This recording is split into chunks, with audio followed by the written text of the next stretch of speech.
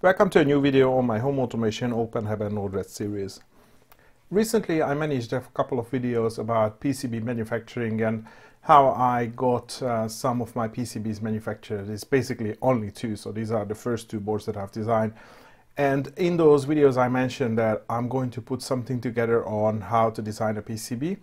So this is what I'm going to do now. And I'm using EasyEDA because it's an online tool and that actually works uh, very well for me because I usually work on a company PC where installing new software is, uh, is, is actually a bit of an issue. So I'm actually fine working in an online solution where you just need a browser and you can work from anywhere or any computer. Uh, of course, that computer needs to be online. And this might not work for everyone because um, you you know might design something for you know your company and you don't want the design to be on a third party uh, software even though that you can make your projects private. Um, there must be some caveats where you probably need to turn your projects to public but all my projects are uh, private at the moment. So I'm going to use this DHT22 uh, project as an example. So I'm opening this in ED um, I'm opening this in EasyEDA and Obviously, the first thing that you need to do is to design your um, circuit diagram. And I'm not going to spend any time on this because you probably have drawn a circuit diagram and it's, uh, you know, this is nothing really special. You have all your components here and then you just start wiring them together and then, you know, maybe change a couple of text. So this is, a, you know, 4.k, 4.5k resistor or mm, let's say you put a fuse here or, you know, ESP 8266 so you just change some of the text and then you start wiring them together. So it's nothing really complicated about that. You probably do it on a paper as well or in fritzing. The only thing which is definitely important because we are designing a PCB not only that you have to be specific about your components like this is an ESP8266 but you also have to be specific about the actual package it comes in so whenever you are trying to add something, of, of course, besides the uh, you know standard components like caps or uh, resistors, so you go to libraries and you want to search for something. So let's say ESP8266.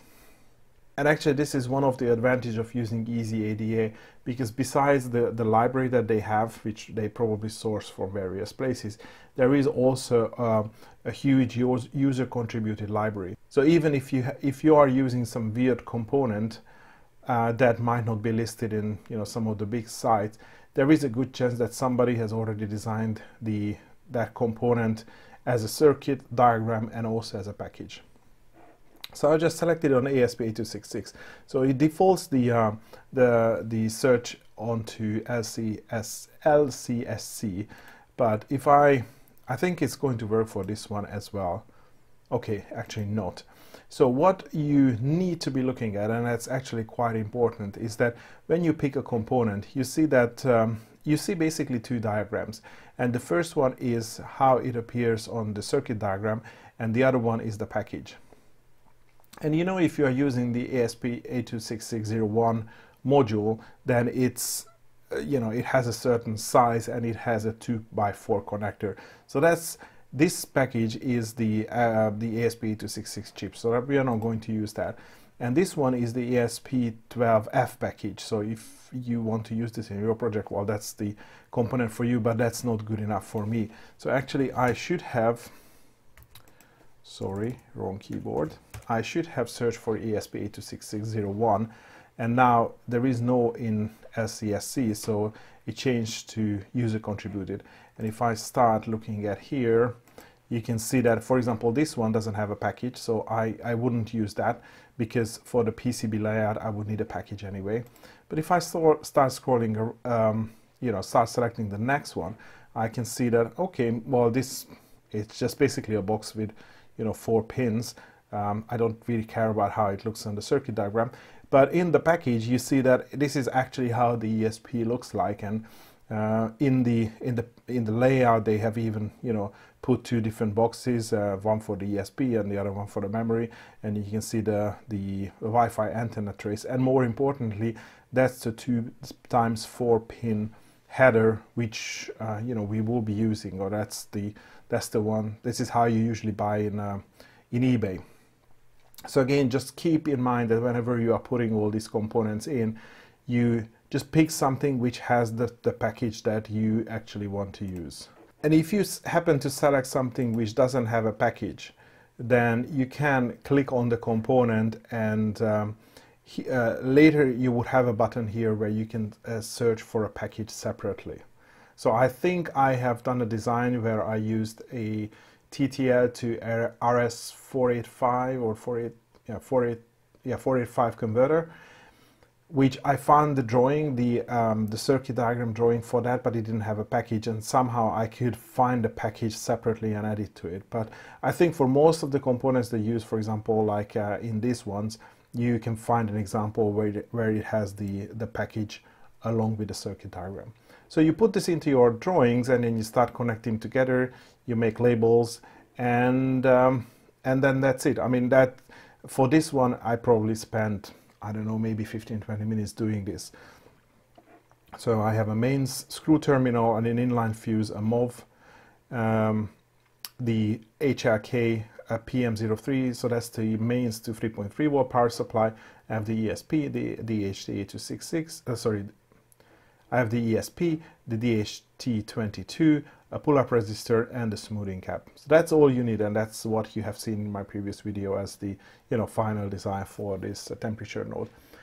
So once you have done that, you just save your design because every major step requires you to save the design first and then now you can start designing your lay uh, sorry your PCB and I do have a couple of PCBs here but I'm just going to start from scratch again so our first step is that you convert it to a PCB so now it got converted to a PCB and as you can see you have all your um, components here in the package view if you have some elements in your design which doesn't have a package, you won't be able to do this step because, well, you need to have a package. Before you start doing anything, I think the most important thing is to specify your board. So that's this um, pink outline is your board and I always um, uh, I'm always looking for this option in the menu but you can see the PCB information here but somewhere else you have, okay, set board outline. So this is where you can design the, the extent of your board. So I know that I need my board to be 62 by 48. So um, obviously you probably have an enclosure that you have in mind where you're going to fit all your components. So you just measure what is the size of the board which you can fit in. So in my particular case, it was 62 by 48 and uh, you do apply. And I've already made my first mistake because my units are in mil and I want to change them to millimeters. So going back to board outline. So the width is 62 by 48. So this is the envelope I have to fit all these devices in. And that's fine. And usually be, um, the next step I would do before fitting any of the components is to place any uh, mounting holes. So you come to come here to the PCB tools and you have the holes here. So you just pick and then you know start placing your holes. So in my example, I know that I have four holes.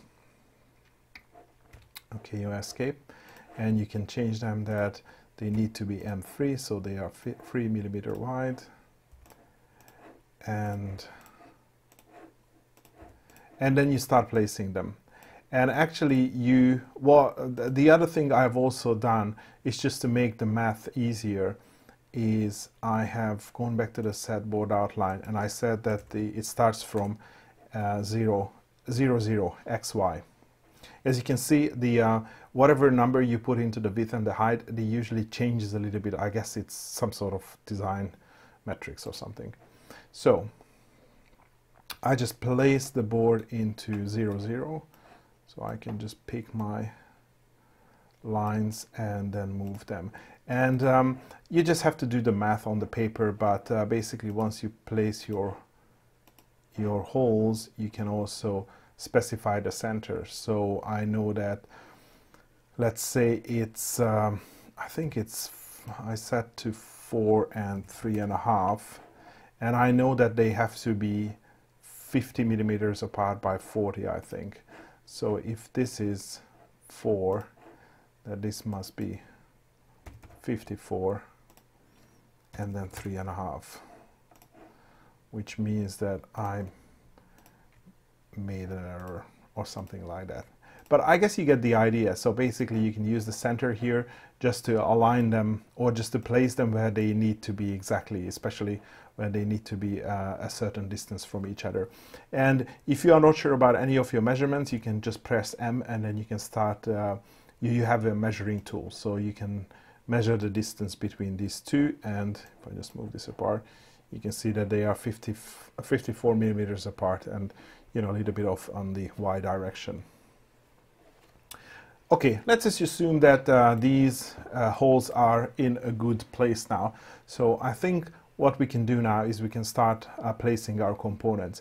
And that's, and that's pretty much up to you how you want to do it. Uh, I mean, in this particular example, I have uh, some main spar uh, elements and I also have some you know low voltage elements. So I just want to put all my mains on one side and all the 3.3 volt stuff on on the other side and uh, provide enough space in between. So you can just uh, click on the outlines of your components and you can just start dragging them where you want to place them.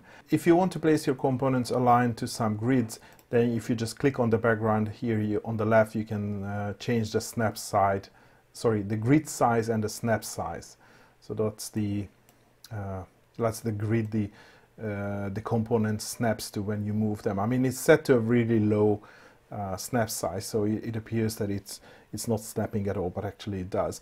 And when you when you have a, a component selected and when you press space, you can just rotate 90 degrees, so you can just easily move them around.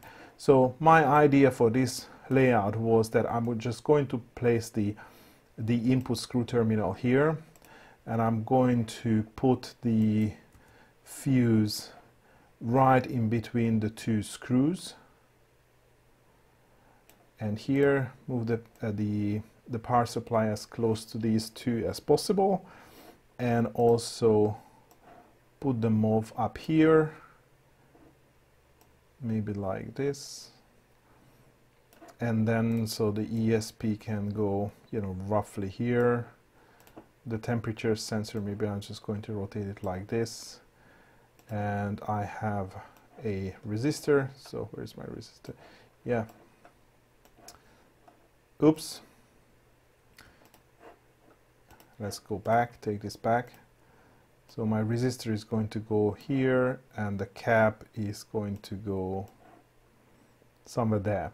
And you can see that based on your circuit diagram the, the, the program already, you know, the, draws the line between the different components. So even now, even though that you haven't really connected all these pads, you can see where the lines are going to go through and, you know, whether they are making a complete mess or whether you can, you know, just most probably work uh, around these different components.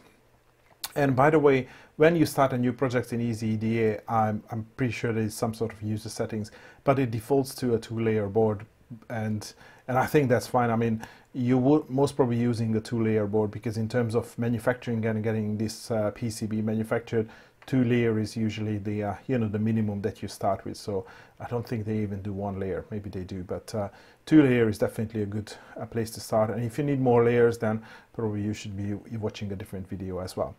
So I think the, the placement of our components are fine now and we, we should start um, wiring them together. And again, uh, what I would do here is that, uh, especially if you bought most of your components, then you can just double check whether you uh, you picked the right package. So again, I would use the M button and then you know measure the distance between these two pads. So it's 5.8 millimeters. So you can check whether the the, the the, screw terminal that you bought has the same pitch and also you can check the MOV. So let's say that's you know 7.5 and um, and also you can check the I mean this HRK PM03 is, is quite a unique product so that's probably going to be fine.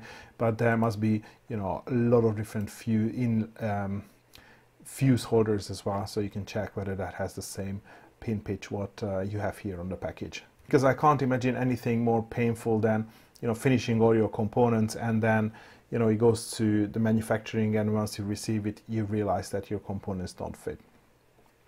So we have done that and actually at this point we can even start wiring. And wiring is also very, very easy. Here on the top right, you see the layer manager and we haven't touched it yet because we haven't actually started doing anything.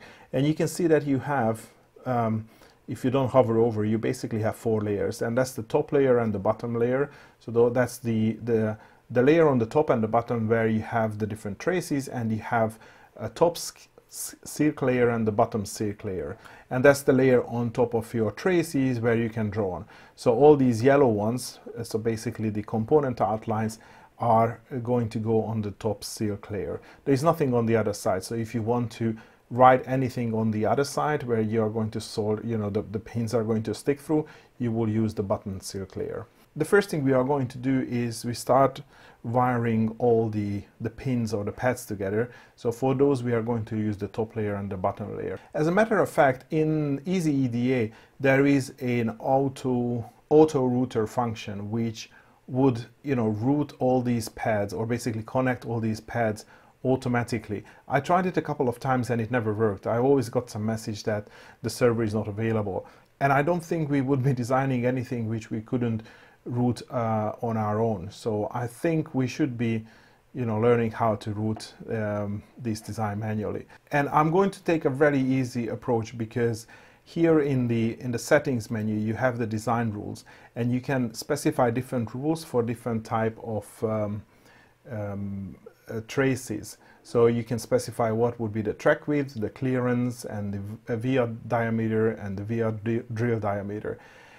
And um, I haven't used these to be honest. Maybe I should have. So for example, if you have traces that are for power, let's say 5 volt or mains or ground, you might want to use a thicker uh, line, but for data traces you can use a thinner ones. So here you can define uh, uh, different rules for different line types and then when you have the lines you can just assign them to different rules so they automatically pick all these settings. I haven't done any of those what I have done in most of, well, in my two designs that I have done, is I started designing the routes immediately. So you just pick up this first tool. And for example, you know that you want a line from here to here. So basically you just connect the two together. And let me just zoom in. Now you can see that the blue line, that sort of helper line has disappeared. And now you have a, a red line.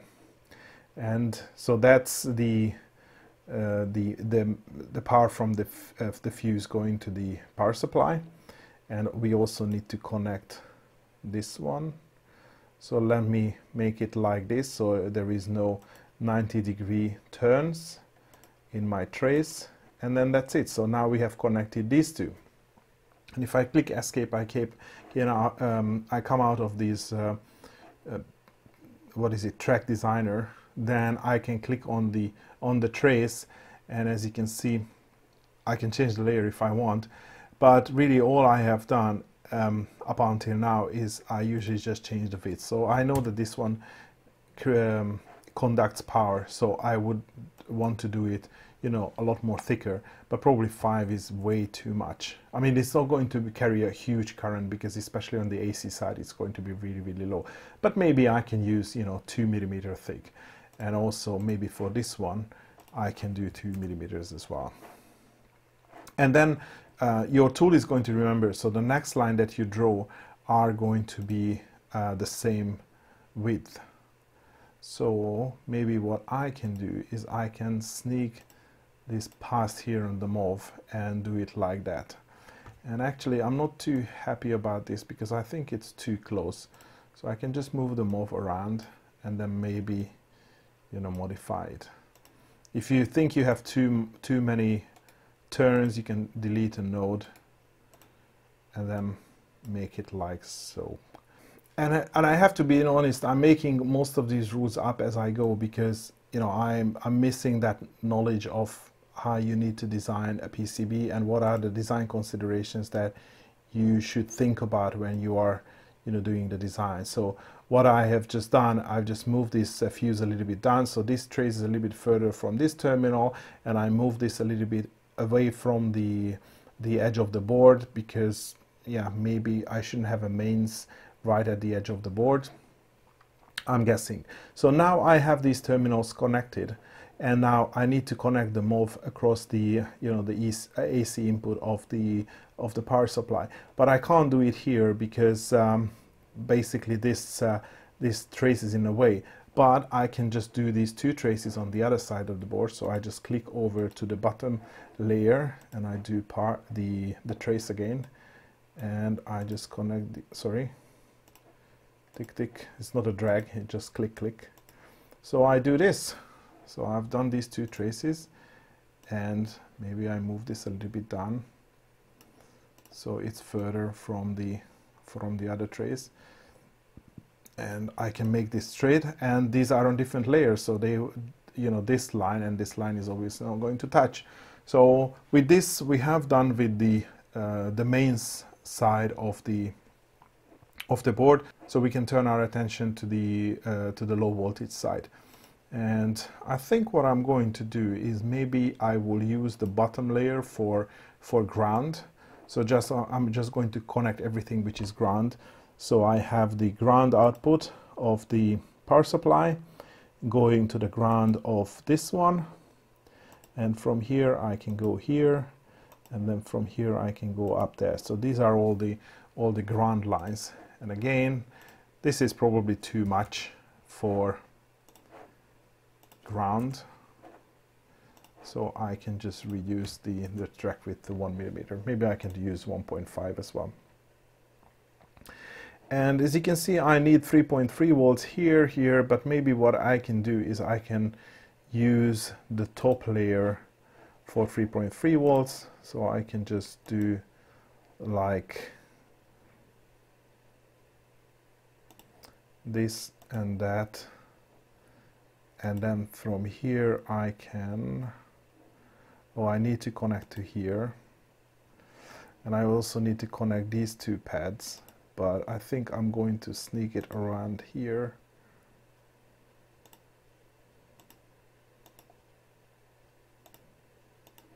Okay so I just zoom in and probably just move these guys around so make it a little bit more pretty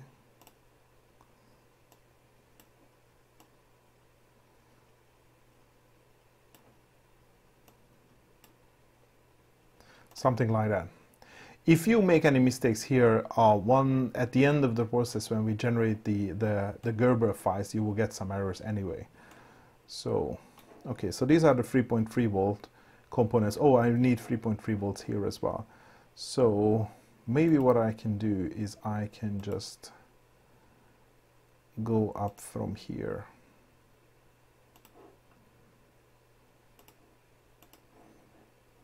Okay. I have some extra kink here. I don't think I need that, so I can delete that node. Move this out a little bit so it's... Um, oh, actually, no. Let me go back. Okay. I use this extra node so it's not 90 degrees. Something like that.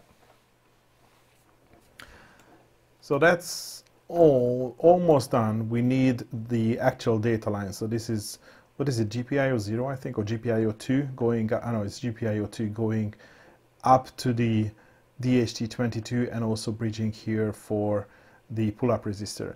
And I can't do it on the bottom layer because this uh, blue trace is in the way, so I'm just going to do it in the top layer. I'm already in the top layer, so that's fine. So here, um, actually what I'm doing going to do here. It's like that and I can connect like this. And as you can see all the blue helper lines have now disappeared. So in theory I have connected everything together just right. Okay so and I think this should be it and when you want to generate your Gerber files, so these are the files that you need to give to your PCB manufacturer, you, okay, I need to save first. Let me do that. Oh, yeah. Test PCB for YouTube. Save. So when you generate the Gerber files, uh, you can do this uh, check and if you have any errors, then you will have the errors listed here. The, uh, it doesn't give you a lot of hint, I mean that's, this is what I find, it doesn't give you a lot of um, help in terms of where the error is, but in most cases you can figure out. And once you are here, you can order the, your PCBs at JLC PCB because this uh, easy EDA is actually uh, something which uh, PCB has done but um, I just download the Gerber files here and that's how I did the oops and that's how I did the manufacturing with PCB way. So good. But since we have gotten this point it means that our board is has passed all the checks and it looks good. And actually that's that's almost it. So the one thing I usually do is I uh, generate this 3D view. Uh, initially I thought this 3D view is going to include the components but uh, Unfortunately, it does not. So all you get is you get your board and then you can just turn it around and just, you know, visually inspect all the, the layer, sorry, all the traces again, just to make sure that you are right. I mean, you probably have the, the circuit diagram in your mind, so you know that, okay, I have, you know, one side of the mains goes to the AC, the other one goes also to the, you know, the AC side via a fuse, so that's fine. I have the MOV over the AC as well and then some of the other bits and pieces oh ah actually we did did we connect the the ground? Oh yeah we did connect the ground to the DHT22 so that's all fine. It's good. Actually I could uh, do the manufacturing based on this. Oh there's a little bit of kink I can probably delete some of the nodes but I also want to show you this um, uh, I always refer to this as um, ground plane, but it actually it's called a copper plane. And what it means that instead of uh, in a couple of cases, instead of uh, having traces uh, in the, in your layout, you have just a big copper copper trace where all the the pins or the pads that need to be connected to are connected, and all the other pads or other traces are um, basically excluded with a, with some sort of clearance. And that's usually done with uh, ground, I think at least ground, and, and in some cases ground and VCC as well. And as far as I understood, this helps to reduce the, the noise of the circuit and also creates uh, like a low resistance path between these pads. So instead of having these lines to conduct, let's say 3.3 volt, if you have a big, you know, big copper plate, then the electrons, you know, travel easier or something like that. So what I'm going to do is uh, I'm going to show you how to do that. But again, you can leave the drawing as it is. Oh, actually, before we do that, let's make our board prettier by adding some text. And this is what I usually do as well. So if you click on any of the components, for example, you can replace the, um, the let's say R1s with, uh, with the actual values so the same with the C1, so that's 4.7 microfarad, I think, if I'm correct. And you can't move the, oh, you can also move them around. I thought you can't. Okay, you can move them around. There are some text, for example, I can, um, I can't change this PSU, but you can change them in the, in the layout. So for example, in the fuse, it says fuse because I have changed the fuse here. So the text. But, oops, oops, oops, no, no, no, I don't want to do that. But besides that, what I can do is I can also place some additional text on the board. Uh, just make sure that you select the silk screen layer and then you just put text. So I can put four texts here. So I want to name this to uh, ground. The other one is NC for not connected and data and VCC and actually I want because I don't have that much space I'm just going to change them to one millimeter. And what I found is that even if you have a text which is one millimeter high you can still read them on the on the PCB so I can just label these pins. So if you are using something else than um, DHT22 you know which pin is VCC data and and uh, and ground. And if you want to add some additional text, for example, I don't have a lot of space here, but I can add some text on the back side. So that's now on the bottom silk layer. And I say, well, it's going to be blink. So I say blink sensor node. And I put it maybe somewhere here. Okay, so that goes to the bottom silk layer. Let me save the changes and let me generate the 3D view.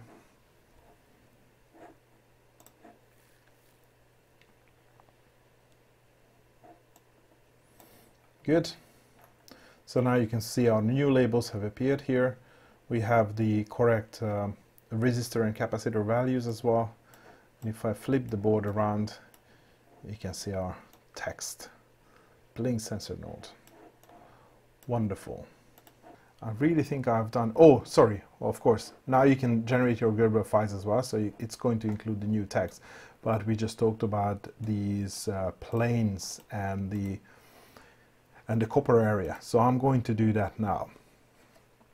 and before you do that, what you need to do, you need to specify all the pads that should be connected by with a copper plane.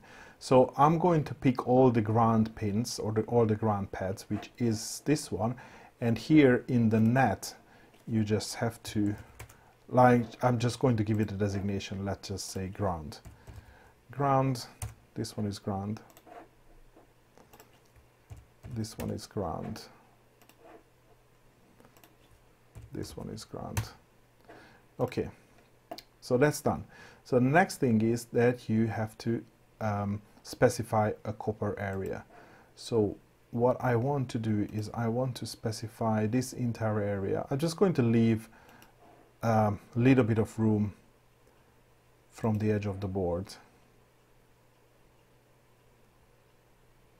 And again, I'm not really sure if the ground plane should go over the plus side of the power supply, but I'm just going to do that. And of course I'm going to keep it away from the main side. Oh okay. How do I modify the copper area? Oh of course I exit and then I click and I can just uh, correct this mistake that I've done here. Okay so this is our new copper area. And as you can see because it is it is linked to the ground net you can see that let me just zoom in. So for example, this pad is not part of the ground net. So there is a clearance around this pad and also all the, all the connections. But this one is part of the ground net. So you have these four, basically this cross shape, which is uh, connecting the, the copper area with the plane.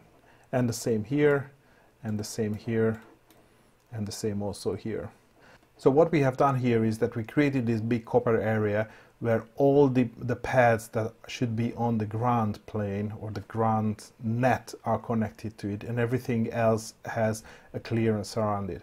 And the clearance is, um, is defined, just one sec, top layer, hey. So if you click on the edge of the copper area, you can see all the settings here. You can change the clearance. So if you want 0.5 millimeter, you can see that the distance between the, the, the, pads and the tracks increase. Again, I'm guessing the, you know, the default value is fine. And uh, going back to the design rule, if you would create different rules, then they would uh, you can select them from here instead of picking them up, you know, changing them manually. But I would just, uh, you know, leave it on the default one, I guess if you move any of your components around, you can always click on this rebuild copper area and actually you have to because otherwise you run into the issue that I ran into where I moved this around and the copper area was generated based on the old position of this uh, uh, resistor. So the pads and the, you know, the, the clearance of the copper area were in different places. So I'll just have to manually fix that. But otherwise, that's it. The thing is that if you want to generate your Gerber files, oh, sorry, you need to save it first. Generate Gerbers. Yeah. you will have some errors because now what we have here is that we have traces that are connecting all these lines and we also have the the copper area so obviously you only need one of them so what you can do is again you can click on the copper area and you can say none so it just well doesn't show. And now because we have this big copper area we don't need all these lines. Good. So if you regenerate the errors, they should go away. And everything is fine now.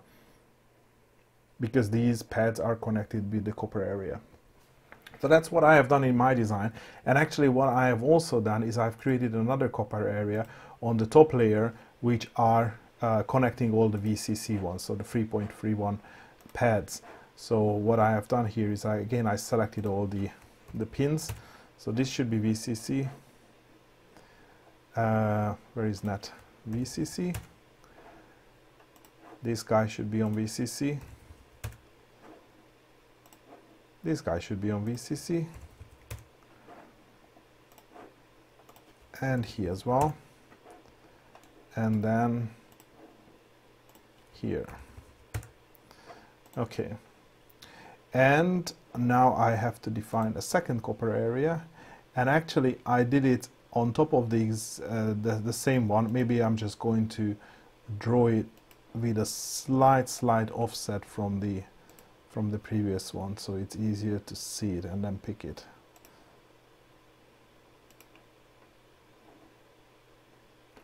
maybe I'm just going to use the same outline here sorry. You use the uh, the right mouse to move around. Okay so this is my second copper area. And I click select and you change the net to VCC and then you rebuild and now you can see that the the pads that need to be connected are now connected. So the clearance is not all the way through but you have a cross uh, you know through connecting the what is it, the pad with the copper area. So you can see here, and then here, here, and there as well. And now what we all, what we need to do is I'm just changing this to none because just like before, save. If I generate the Gerbers, then we got errors again. So I can just delete all my lines that are related to VCC. If I generate the errors again, or, you know, revalidate the errors again, now they are gone. So everything is fine now. And just to not make the same mistake that I have done, let's turn it back to solid, rebuild the copper area, turn this back to solid, rebuild the copper area. Okay, and now we should be ready. So I just generate the 3D view again. Oh, sorry, I need to save again. 3D view. I said 3D view. We can see that's the that's the plane, the copper area connecting all the grounds. So this, this, and that pin, and all the other pins are excluded. And also this data line is uh, excluded from this copper plane. There is a nice clearance all the way through and if we flip the board around then it's the opposite thing so it's the plus here plus the two pins here and here that are connected ah sorry I shouldn't have done that yeah again a right click allows you to pan the view and then left click rotates so you can see the how some of the, pad, the pads are included in the copper areas and others are not and well, these are all the tools that I've used in my two initial PCBs. And um, honestly, I think that's that's pretty much what you need. And if you want to do something basic like like this, where you're just basically you know throwing a couple of components together, so you don't have to work on a prototyping board, that's all the knowledge that you need. And now we can generate the Gerber files. Let's do the validations again. Generate Gerber so you get your Gerber files and then you can, because I'm doing it with PCBWay, I'm going to show you how it's done with the PCBWay. So you just head on to PCBWay and you say that your boards is, what is, was I think it was 62 by 48. Let's say you need only five of them. It's two layer and you leave the thickness to 1.6 millimeters. So basically you just leave it to default. You click on go, uh, get quote. You have to tick this one. Um, I have to admit I don't really understand what this is. It's basically some sort of surface finish, but I'm pretty, you know, I'm pretty much fine with this surface surface finish. Uh, two layers. The material is this. I'm absolutely fine with that. Width is that. If you, you know, these are the default settings. If you want anything different, if you want thinner board, thicker board, that's, that's going to cost you extra. If you want different uh, colors of the solder mask, that's going to cost you more. If you want to have the extra charge, you know, just go ahead to change these settings around. But I've been leaving all these settings on default and you just click on calculate. So it's going to be, you know, $5 uh, without the shipping. So you can change the shipping. Uh, uh, the default is always going to be DHL. So you can go back to all the way down to China Post. So that's just going to be a five. Uh, yeah, I guess China Post is the same. So basically you can have five of these boards uh, for, for five and a five dollar shipping, so a tenner altogether. So you click to add to cart. Now you have these items in your cart, but that's only the, the order, so you haven't uh, included the design yet.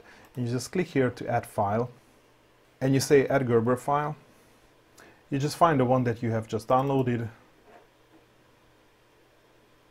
and once it has uploaded you just key, click on submit order now and what is happening now is um, you have just close this one you have submitted this order but what is uh, what is happening now is this your design is going to go for an audit you can see here it says uh, subject to audit and that means that I don't know whether it's a person or some sort of computer, but they are going to check your design just to make sure that there is nothing on your design that they wouldn't be able to manufacture.